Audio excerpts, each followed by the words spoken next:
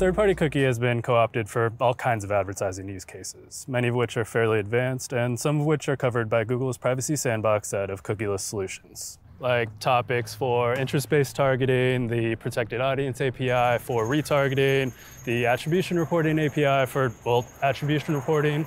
But among the cookie's more basic uses is just keeping track of the content that someone is exposed to online, including the ads. Which is handy for, among other things, making sure that someone doesn't see the same ads so many times that they come to find the advertiser annoying.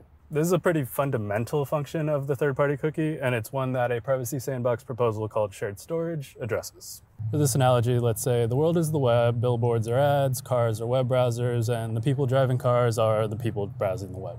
Now to use shared storage, an advertiser basically attaches a piece of code to its ads that tells the browser to save a piece of information like the number of times someone was served a specific ad in a folder specifically reserved for that advertiser.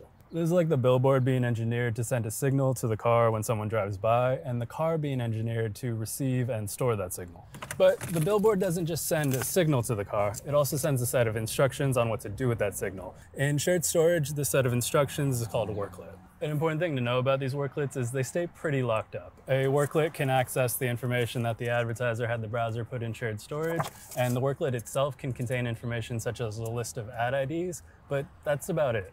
Oh, and while we're at it, that name shared storage, so the shared part refers to how the advertiser can access what they've put in shared storage across different sites, but the storage isn't shared across different advertisers or publishers or ad tech firms or whoever. They each get their own shared storage.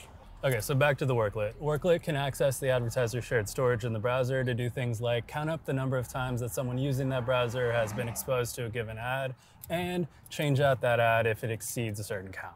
To be clear, shared storage can be used for things other than frequency management, like different types of cross-site measurement using Privacy Sandbox's private aggregation API.